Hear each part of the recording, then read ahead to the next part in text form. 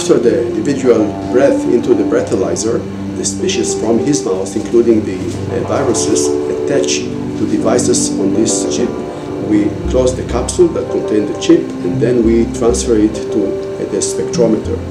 And then we scan it for about 20 seconds and then we have about two seconds of mathematical processing and eventually we can say whether we have a corona carriers or we don't have a corona carriers. This uh, invention will be uh, fulfilled at point of entries, namely airports, cruise ships, uh, companies. So we are going to position in those point of entries many, many machines. Uh, each machine will have a throughput of about 4,000 people a day. We believe that uh, we will uh, do the validation within a few weeks from now and then we have to go through the FDA process. Uh, luckily, uh, there is now a fast track of the F FDA, so I hope that it will go within another month and hopefully by September, October, we will start uh, to, to make systems. Uh, since Israel uh, is uh, called a startup nation, and the reason for that is because we can find the power sometimes on a voluntary basis to gather forces eh, of so many people that we know each other and we have so good networking and the country is not that big so we can join forces in order to eventually coming up with a solution and to validate the solution in a very, very short time. Gabi, thank you so much for joining us uh, from uh, Ben Gurion University in the Negev, and I'm joined by David Berson, uh, a friend and a colleague here in Vancouver that helps and is the representative of Ben Gurion University of the Negev here uh, in Vancouver. Um, I want to call you professor, but you asked me to call you Gabi, and so I will.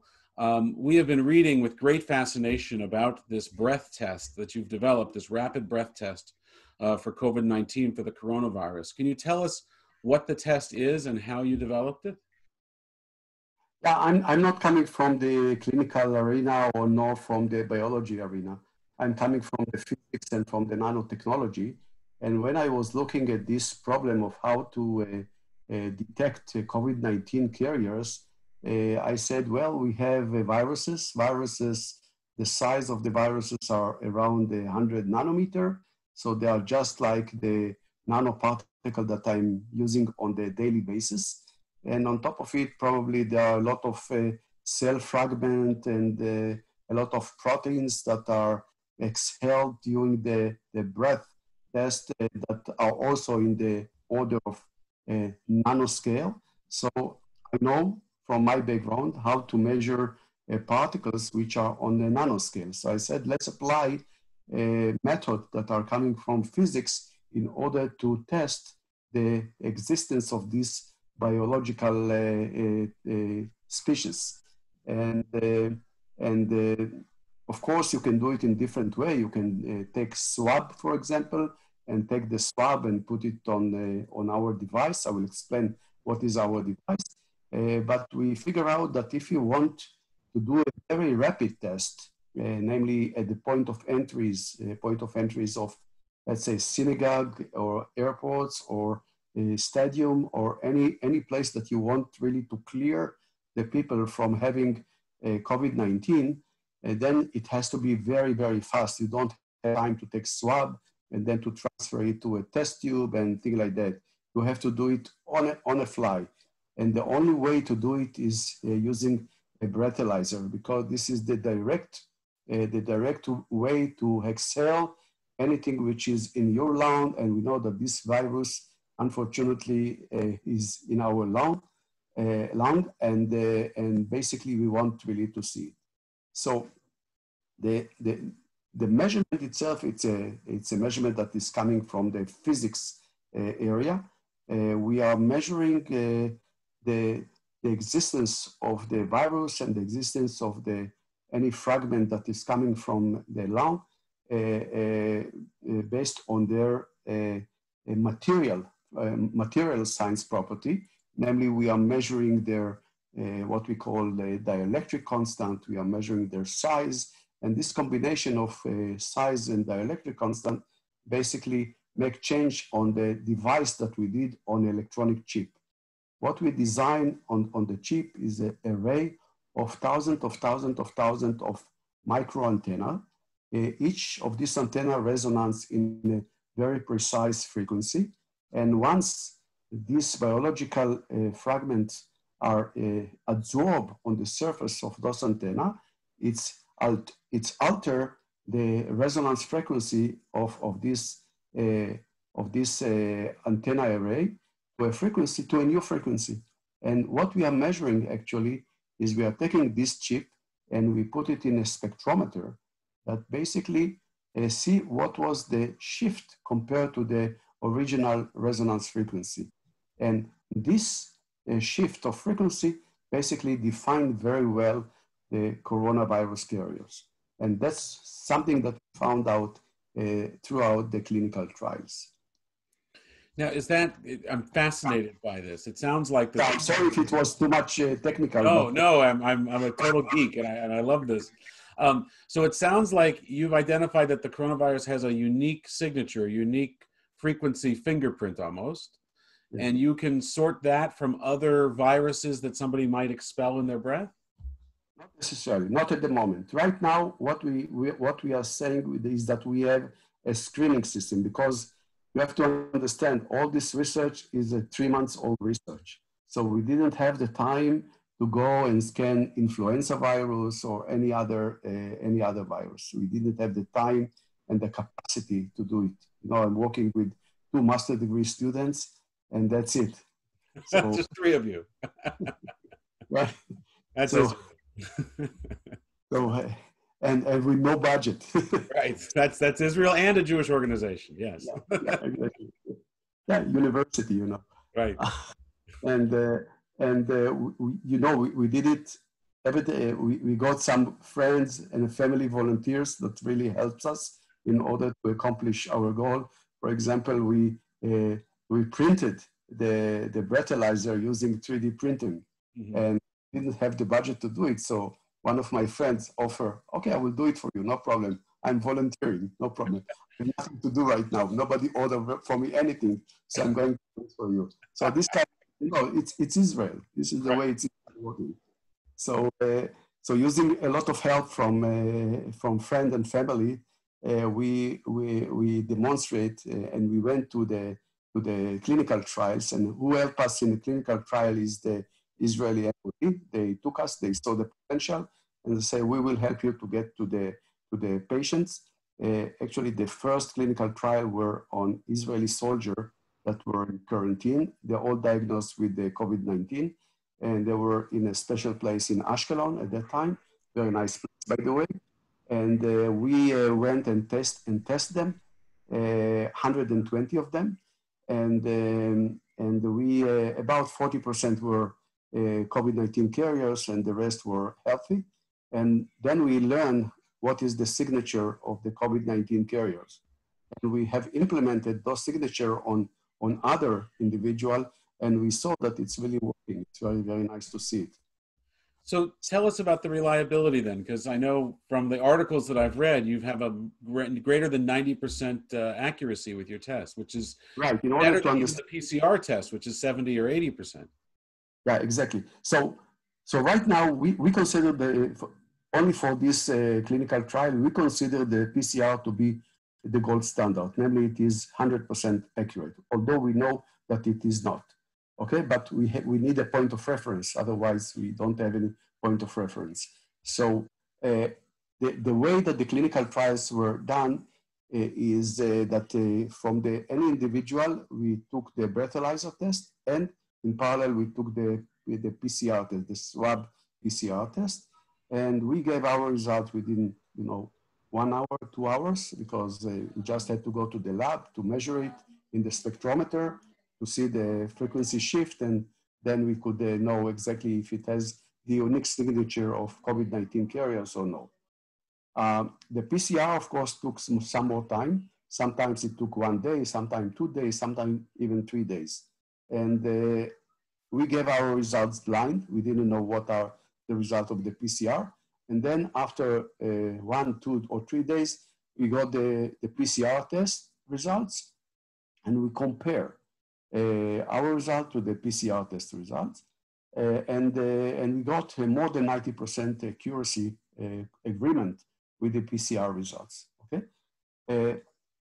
as for 10%, we don't know who is right. Maybe we are right and the PCR is wrong, or maybe other way around. So we don't know. But uh, there are several anecdotes that I must uh, mention. Uh, one anecdote is that for one for one of the individual, we said positive and the PCR said negative. So we said, okay, we failed, okay? And then from some reason that we don't know, they did another, on the same individual, another PCR test, and it was found positive actually. So exactly what we said before. So we, we got a lot of confidence from this that maybe we, we can do better. Uh, another anecdote is that in one of the, of the cycle that we did, uh, we uh, checked something like uh, 12 or, or, or, or, yeah, I think 12 soldiers. We didn't know because we were not taking the actual test. They were special people who are, you know, covered themselves and they are protected to take the test. Uh, and then we got results which shows us that it's not the usual signature as we know. And we, and we, and we said, okay, look, it's very, we got a very weird results here. What is the weird results? We got results which are just between healthy sick uh, uh, with COVID-19, just in, the, in, in between. More, more tendency to the sick, but it's not really sick, but it's not really healthy. And we didn't get it before. And so they said, okay, let us check. They came to us about after 30 minutes and said, you know what? Today they took the test from the yellow camp. I said, what is the yellow camp? And they said, the yellow camp is a camp of those soldiers who are in the recovery, the last stage of the recovery.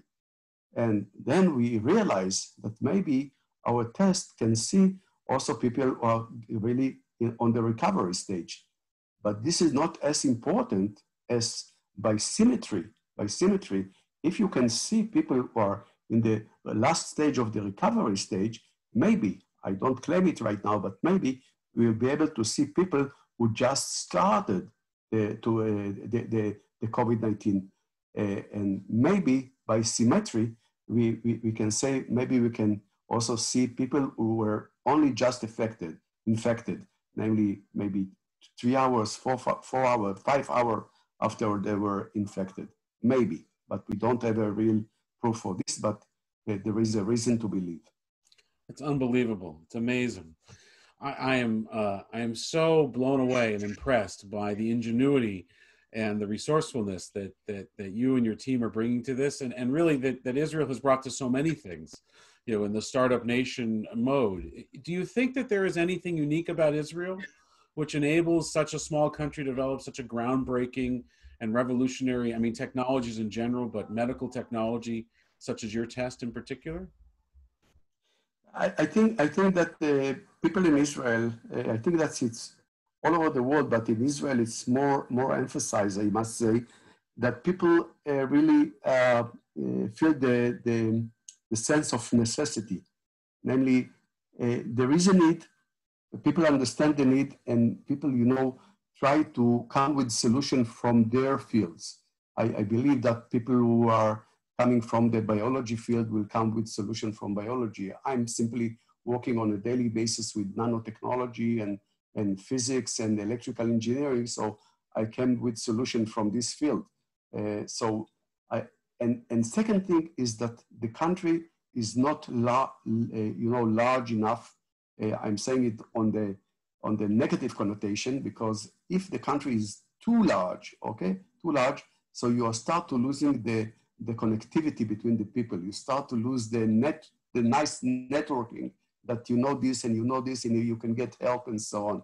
I think that Israel today, uh, when the population is somewhere between 8 million, 9 million, this is an optimal, optimal population to, in one hand, you have the critical mass of having enough people and enough ingenuity in the country in order to do a lot of things, but it's still small enough in order to have this nice networking of a small country that everybody knows everybody. People share with me the Air Force. I was in the Air Force, so I'm getting help from, from people that to serve with me 30 years ago in, in the Air Force. It's, it's amazing because we are still in contact. You, you, you don't see it in many, many places in the world. So here's the, the, I don't know, the, the billion dollar question perhaps, which is when, so you finished phase one of 120 or so uh, human trials. What's the next step? And when do you think, if all of these things continue to be positive, um, when you'll be able to roll this out at scale and, and people in Israel and around the world will be able to use your test? Yeah, it's a good question.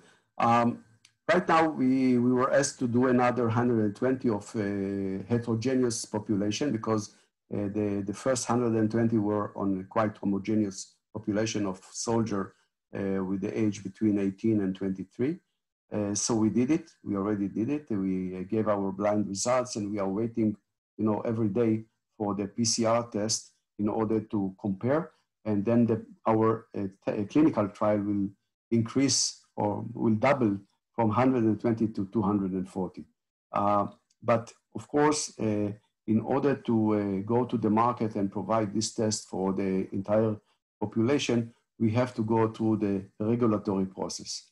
Uh, fortunately, there is now emergency track of the FDA and uh, also with the, the EUA, uh, we, uh, and uh, we, are in we, we are right now in a process of establishing a company that will basically take this invention and commercialize it. And this company will basically approach the FDA, the European authority and other places in order to grant the approval for this uh, test. Uh, this process usually take years. I hope that in this case it will take us two months, at the most three months, and we will get at least the certification to go and start to sell it in the market. Uh, once we will do it, we will be able to give the, this benefit to the, to the entire uh, population around the world. Uh, because uh, imagine that you are going to the airport and you are clearing with this system within uh, 15 seconds and you can go on your flight. Uh, you want to go to school, you want to go to the synagogue, in every place where where there are a lot of gathering of people, they will be able, we will be able to clear them to some extent, of course. We don't say that we are 100% correct, but to some extent, and to give more comfort to the people that they can go on the flight, they can go on the ship, they can go to the stadium, and they can go to the cinema as well. Gabi, thank you so much for your time and for your incredible work. I think that uh, our congregation and, and, and our, the Jewish community worldwide, and I hope the, the world community uh, sits back in awe of, of the ingenuity and the work that you're doing with just two master students and yourself. Uh, but you know, some of the greatest computer companies in the world were started in somebody's garage. So this is the Israeli version of starting a company in the garage, I guess, which I know happens all the time. Uh, we wish you and your team b'chatzlacha and uh, to everybody uh, in your family that they should have good health and, and much success in, in what you're doing. Thank you, Gabi. Thank you so much. Thank you. Thank you for having me here. Bye-bye. Bye. Bye.